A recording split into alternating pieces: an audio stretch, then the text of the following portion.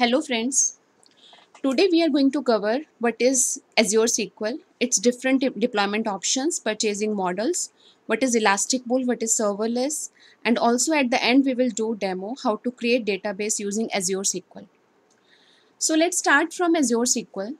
So Azure SQL database is general purpose relational database as a service. We will not go into deeper what is SQL, what is RDBMS.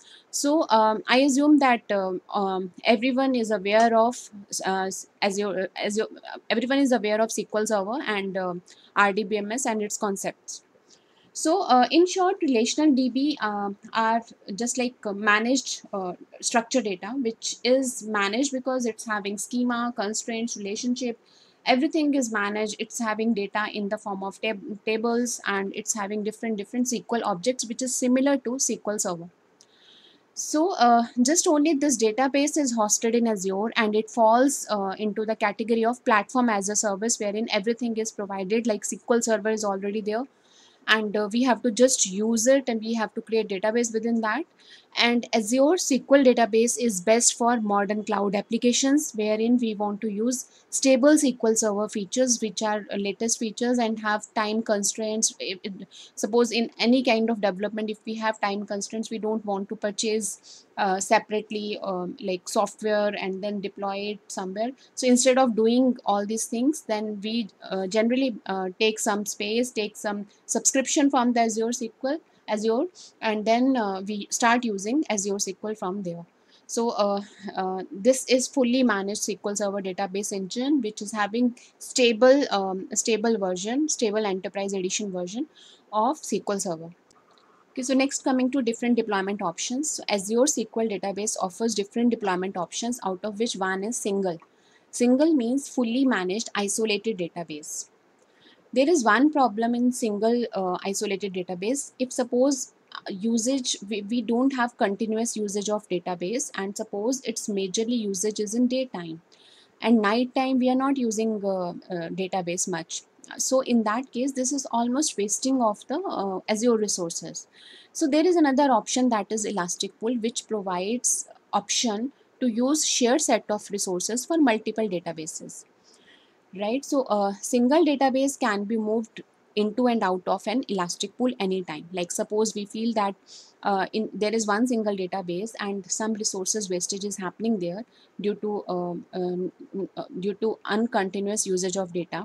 In that case we can move that database to elastic pool wherein it's having other databases and using shared set of resources for those databases and elastic pool is more cost effective solution and this is also helpful for managing performance of multiple databases. Then there is another option which is managed instance which is fully managed instance of sql server. Managed instance we majorly use when we need to migrate from on-prem to azure. Single db when we move to cloud it may get rid of few features but in any case if we need full compatibility of sql server then in that case we use managed instance. It is costly than other option but it has all the features when we uh, as as in normal sql server. So whenever we need to move on-prem to azure or sql then better option is to use managed instance. So based on different deployment models you can uh, select different purchasing models. So there are two different purchasing models DTU based and vCore based. DTU, DTU is database transaction unit based purchasing model. This is available for Azure SQL database. So uh, sometimes we need to use simple pre-configured resource options. Then in that case, we use DTU based. Its resource options include like mix of CPU, input, output, and memory capabilities and on the other side and also we can say that dtu is percentage of units db is using database is using. On the other side second option is virtual core virtual core based purchasing model uh, is basically used for both the cases like azure sql database and azure azure sql managed instance. Vcore uh, is used when we need flexibility of uh, controlling its resources right so suppose if suppose we need to use uh, we, we need to do some migrate some data from on-prem to azure then we know how many vcores required because we already aware that what was uh, um, uh, what was all the resources in on-prem how many required in the azure um, uh, Azure as well because we know to entire data, what is the size of data, everything we know. Accordingly, we can choose here vCore. So now let's go deeper into the vCore because we need to understand what is vCore and it's clearly indicating that DTU is pre-configured and vCore wherein you can configure, you can add or you can modify the uh, resources as well. So uh, vCore is uh, best purchasing model if you know about the resources and uh, you can think about like what is the best resources for our database. So we pay for compute resources and which is combination of service tier, number of vCores, amount of memory or we can say generation of hardware, amount of data which we need to store there, log storage, what would be the backup strat backup storage.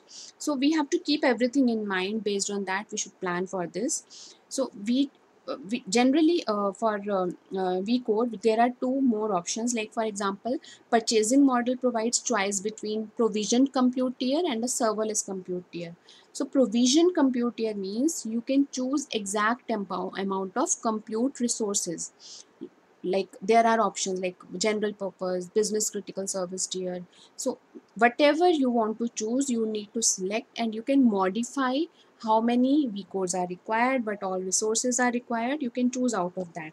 And also you can choose scaling uh, flexibility as well right? So uh, so this provides uh, all the options. When we uh, have demo moving further then we'll uh, discuss about this that how we can modify that right? Then uh, uh, we could provide another option that is a serverless compute tier which is for single database, we can use serverless and it has configuration of auto scaling range, range and auto auto pause option. Like for example suppose i have a database and i know that in uh, day in morning time or in daytime its usage is less right? And um, it's very minimal usage.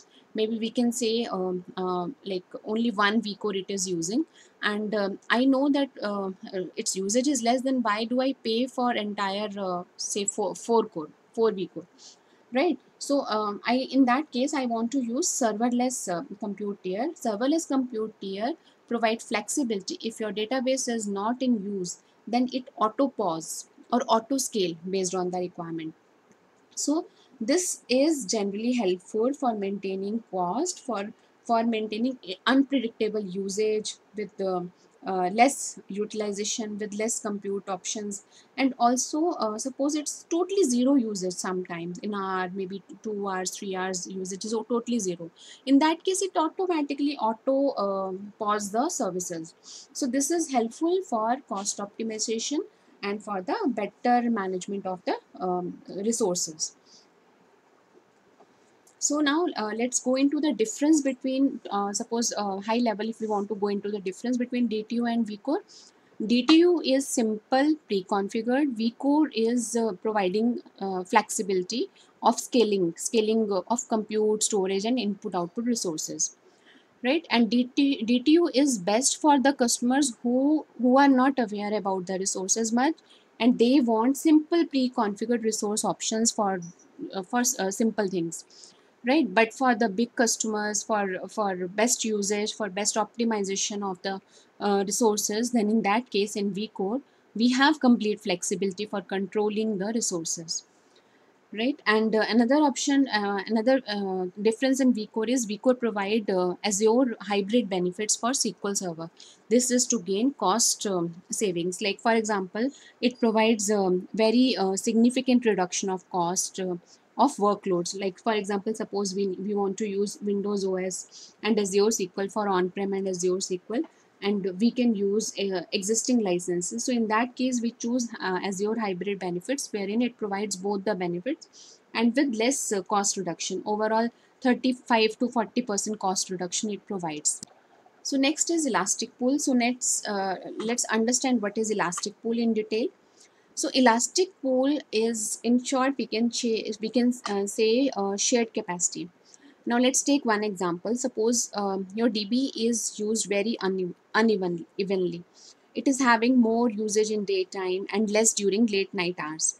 So this may be due to rarely used for reporting services or may be used by some automated jobs which runs on some intervals or um, or maybe some other usage wherein intermittent use is there.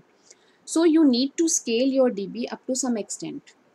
suppose um, for 1 db database a we are using 20 dtu and you can see in um, uh, this green uh, colored um, usage. So this database is having uh, it, its resources is having um, a 20 dtu and it's not reaching up to 20 dtu right? And um, uh, and it's quite intermittent sometimes high usage low usage and sometimes totally no usage blank uh, it's not uh, in fact using sometimes right? So in that case um, so what uh, we need to manage better usage better uh, usage of resources. And uh, suppose anyhow we have two databases right? And almost similar kind of usage we are having or maybe some kind of logical connection is there or some kind of uh, like um, resources um, uh, logical resources we are using similar kind of resources are using here. In that case we can plan to use its resources in shared mode for better uh, usage of Azure resources, for maintaining cost, for maintaining scalability. So in that case, um, uh, both the databases are suppose using 20 DTU and we are paying for 40 DTU, but we want to better manage this, right? So um, what we will do, we, we want to utilize its complete resources, so we would like to use it in a shared mode, right? So this way, like we can manage it in if, you see here so it crossed 20 DTU if suppose database A and database B both are using shared resources. So we have 40 DTU but still it's only increasing more uh, little bit more than 20 DTU. So maybe uh, we can we can assume that it, it will use max 30 DTU. So it means we have to pay for 30 DTU only not for 40 now right? So it would be better cost effectiveness better cost optimization. And um, uh, and also if you see that uh, this uh, this is better usage of resources as well between multiple databases. And um, uh, similarly we can if suppose we can we can have shared resources for more databases maybe three four databases. So maybe cost would be uh, uh, good reduction in cost would be there right so, uh, so such type of planning we do in elastic pooling wherein we need we can use shared resources for multiple databases and can have better cost effectiveness, better usage, better performance. So next coming to Azure SQL database serverless. Serverless is used for single database uh, but in that case suppose we have uneven usage of database. So serverless help to scale up down automatically. It's having auto scaling feature and also it has auto um, pause feature as well wherein suppose if your database is not in use sometimes maybe in a day two hours it's not in usage right? So that time it automatically auto pause the services. So this is helpful for better cost management again. And also uh, instead of uh, paying for whatever uh, we have taken we have services taken but we have used uh, so it's it's not based on like what options we used for the uh, DTU storage and everything we we need to just choose like serverless option and serverless automatically take care of auto scaling and auto pausing if suppose DB is inactive totally literally zero then you uh, then in that case um, it automatically make it auto uh, auto pause and when it starts using it automatically starts at that time so you can see here that min and max vcores are there uh, which is as per the configuration. And if it is not uh, uh, if it's very less than min, vcores or maybe not using that type it automatically makes it inactive or uh, paused. So this is the best option when we are using single database. When we we don't have a possibility of using elastic pool there is no shared resources can be used. In that case we can plan this option. Now um, suppose we have to create Azure SQL database in Azure. So first we need to create database server. Database server is just like a central point wherein we can have multiple single databases or pool databases having firewall rules, logins, auditing rules, different SQL objects. So uh, everything is in one database server. So in one database server, we can have multiple databases right so um, so whenever we will be doing demo we have to first create the database server and then if database server is already there then we can create a database by choosing database server within that or otherwise we have to create new database server and then different database. So let's start demo now. So in Azure portal, you have to just go to SQL database or you can type here SQL database.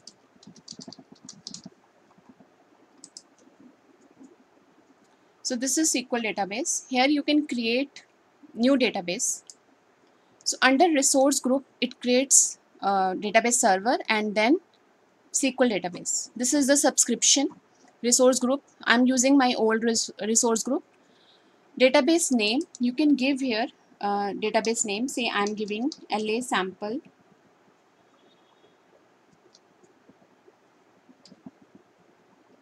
data, LA sample data. Then server name, I want to uh, create new server. Suppose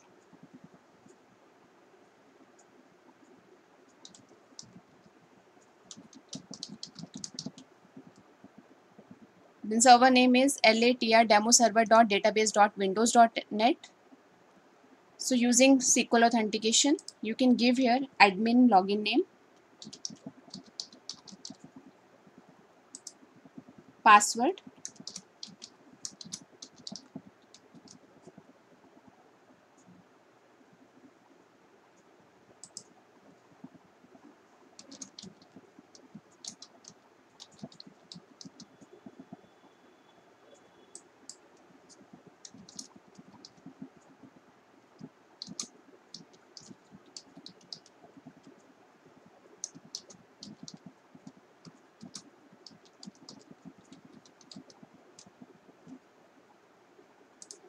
okay.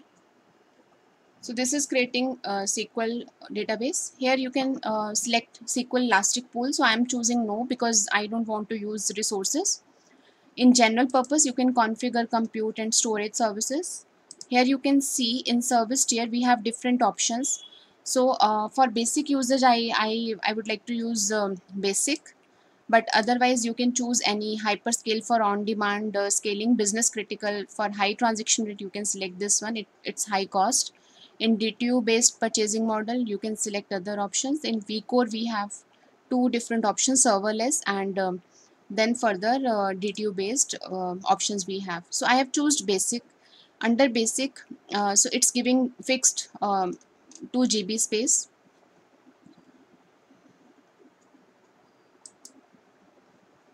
so apply. So I want to use uh, database backup as a locally redundant backup storage. Then um, go back to these are the different default options. I'm not changing anything. Now going back to additional settings you can create new blank database or I want to take sample from AdventureWorks LT then review plus create. Create So now database is created. Go to resource. So you can see here this is the server name, no elastic pool. Connection string. You can have different connection strings from here ADO.NET, JDBC, ODBC, PHP, Go. Even you can um, take code from here. This is a small code snippet which you can take from here and can use for the connection string perspective. This is uh, pricing tier. And these are the subscription details. So here it's showing all the database features automatic tuning auditing and all all the features whatever uh, configured here. So now uh, go to query editor. So here you need to type password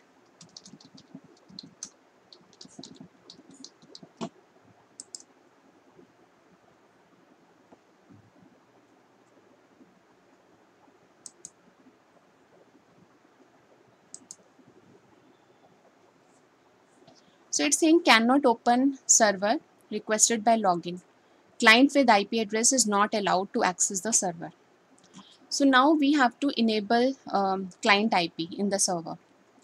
So go back to server.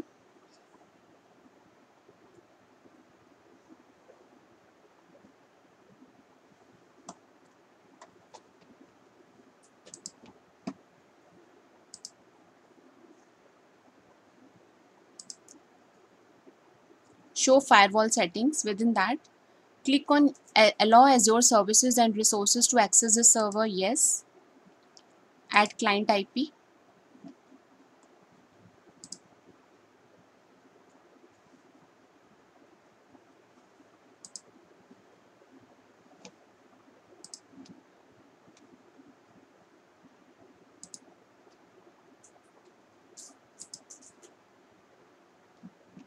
this is the database. Go to query editor.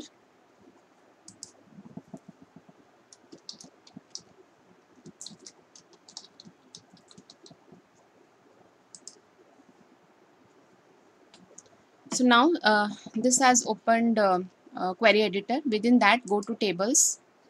It's showing all the tables adventure works tables which uh, sample data we accessed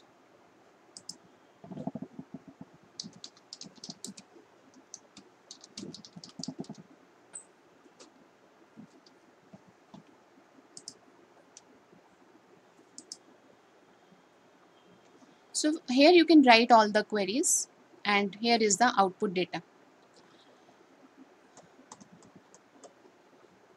So you, you can uh, have multiple things like save query, export data as, so you can export this data to CSV or XML. All these options are there. You can open new query. So all these things are there and uh, you can use this and all uh, also you can create a blank database. You can have your own database. It's having views there stored procedures are there. So you can use uh, all these database objects here. Later on if you want to change the compute plus storage here uh, you can go to compute plus storage.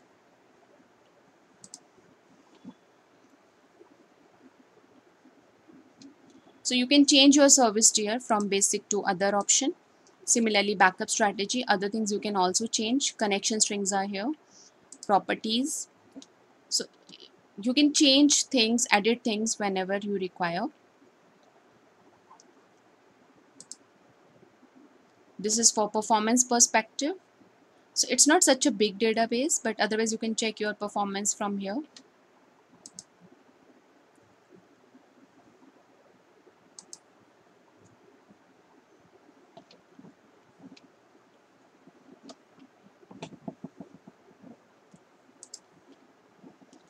so here in home you can see like uh, uh, this is the SQL database. This is SQL server and uh, SQL databases are there. So two types of objects would be there in every uh, resource. So now we created database in Azure SQL now suppose I want to use uh, Azure SQL database in um, local machine uh, in SQL Server Management Studio. Now how we can open that? First of all um, you have to copy this server name go to SQL Server Management Studio. This is my local database. So you can create new connection. Copy this, uh, paste this uh, database server name. Authentication, um, since I created SQL Server authentication, so you have to use this. In case of Active Directory, you can use other options Azure Active Directory Universal with uh, MFA or with password or integrated. So I'm using SQL Server authentication. So here you have to write uh, login then password.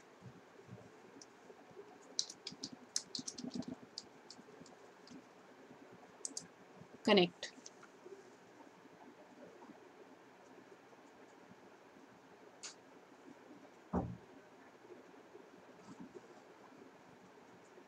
It's it's making connection here. Once you click on database it's showing LA sample DB within that tables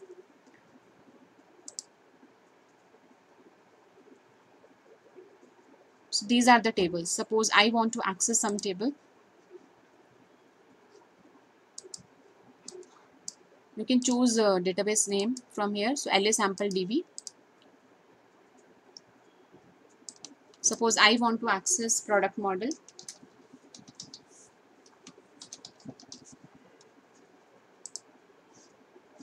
So this is the table. So it's it's extracting data from Azure SQL. This is the Azure SQL database connection so here we can run the queries or we can create tables if you if you need so we have seen how to access Azure SQL database into local uh, SQL Server Management Studio. Now uh, we have uh, we have just completed demo and now let's look into the different Azure SQL options. So we have three different options SQL Server on Azure VM wherein we have to first configure Azure VM. Within that we have to um, install SQL Server.